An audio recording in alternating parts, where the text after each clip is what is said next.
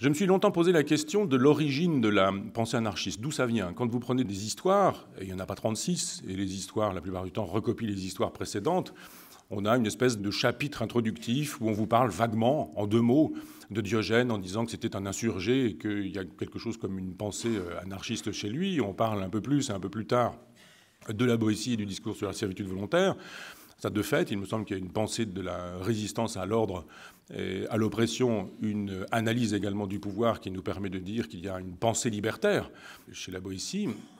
Mais c'est plutôt dans la matrice du XVIIIe siècle, et plus précisément de la Révolution française, qu'il faut aller voir pour comprendre comment la pensée anarchiste va décoller et démarrer. Moi, je pensais naïvement qu'il y avait une vénération de la Révolution française pour ce qu'elle est, totalement, une espèce de mythologie, et qu'on trouverait aussi bien chez Proudhon que chez Bakounine une célébration de la Révolution française.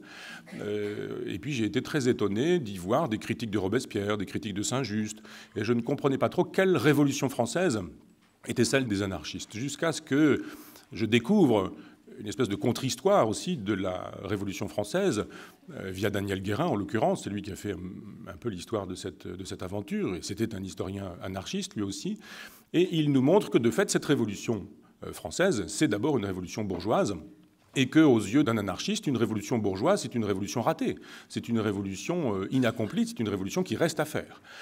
Certains pensent, mais ça c'était aussi le débat avec euh, François Furet, que la Révolution française était euh, terminée avec euh, son issue, que finalement l'histoire avait décidé, c'était ainsi, on avait réalisé la révolution des propriétaires, de la bourgeoisie, le peuple n'avait pas vu grand-chose, pas vu grand-chose avec 1789, mais il y avait l'histoire. L'histoire avait dit que les choses étaient terminées, que c'était comme ça, qu'il fallait donc en finir définitivement avec cette Révolution française.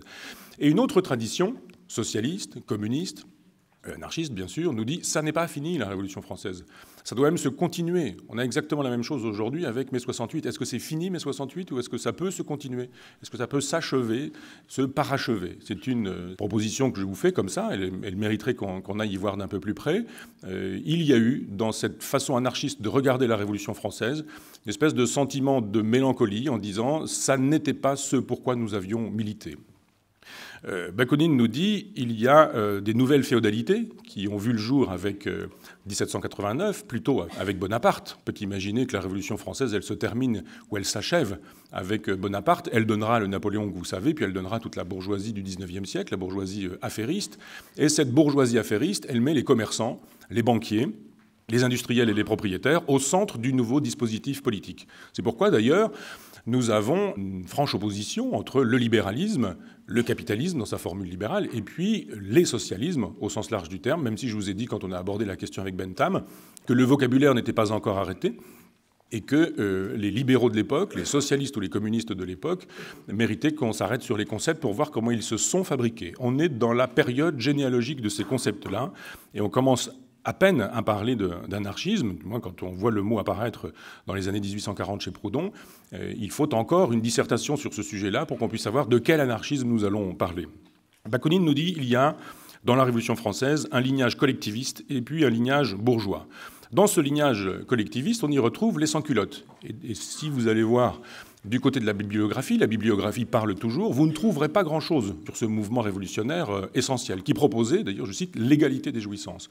Le programme économique des sans-culottes est un programme extrêmement intéressant, essentiellement parisien. Il n'y a, pas de sans-culottes en province, à proprement parler. C'est un mouvement euh, parisien euh, dans lequel il y a des propositions économiques qui sont des propositions de nationalisation de la terre et de nationalisation des biens. C'est-à-dire une proposition d'ordre communiste. À l'époque, la bourgeoisie n'existe pas de manière aussi claire, aussi diffuse. Elle est, diffuse, c'est la révolution industrielle qui lui permettra de se manifester précisément.